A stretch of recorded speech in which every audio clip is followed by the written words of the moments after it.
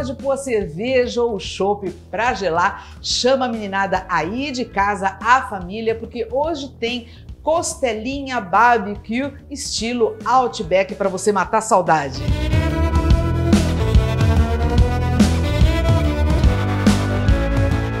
Você fazer uma costelinha barbecue, você vai precisar de uma costelinha de porco do tamanho da sua família, obviamente. A minha é até linda, maravilhosa, com bastante carne, era muito grande. Eu cortei um pedacinho aqui para jogar no feijão durante a semana, mas você vê aí uma do tamanho da sua família. Você vai precisar de temperos, alho em pó, cebola em pó, páprica defumada eu estou usando. Se você não tiver, você pode usar páprica picante, cominho em pó, pimenta do reino, açúcar mascavo, molho barbecue e molho inglês.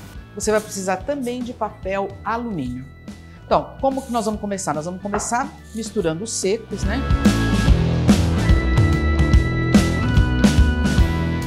Aí nós vamos fazer uma pastinha junto com o molho inglês e molho barbecue, que vai um pouco agora e depois novamente na hora de servir.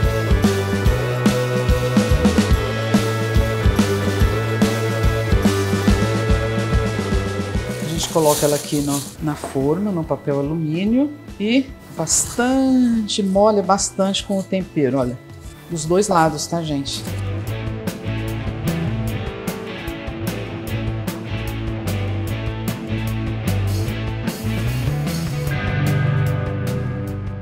O ideal é você colocar até três folhas de, de papel alumínio para garantir que o osso não vai quebrar e que ela vai cozinhar, porque nós vamos levar ela ao forno agora bem lentamente e deixar ela cozinhar até ela tá soltando do osso. Gente, agora nós vamos levar ao forno é, 160 por umas duas horas, bem devagarinho.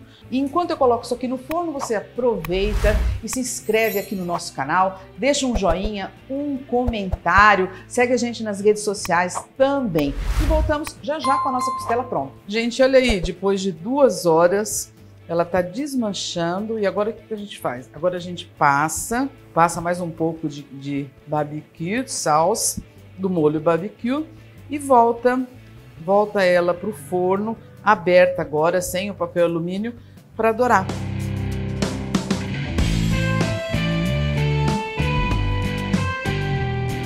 Detalhe importante, ela estava 160, agora eu vou colocar ela 220 só para ela dourar, tá? Então eu vou aumentar o forno.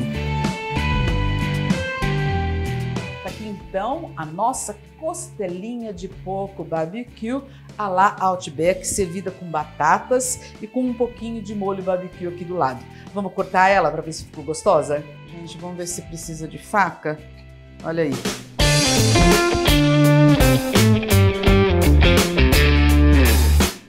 Cervejinha para acompanhar, cervejinha bem gelada. E, gente, aproveita que você ficou até aqui dá um joinha aí, se inscreve no canal, deixa um comentário pra gente, tá bom? e até a próxima receita.